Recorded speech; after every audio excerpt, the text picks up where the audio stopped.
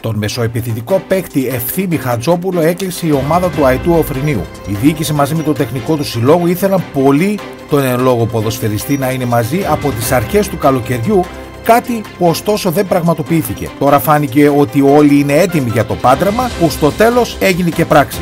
Ο Χατζόπουλος στο παρελθόν έχει παίξει μπάλα με τη Λευκάδια Εμαθίας, Νίκη Αγκαθιάς, Εγυνιακό, Νάουσα, Άγιο Νικόλα και Πλατανιά.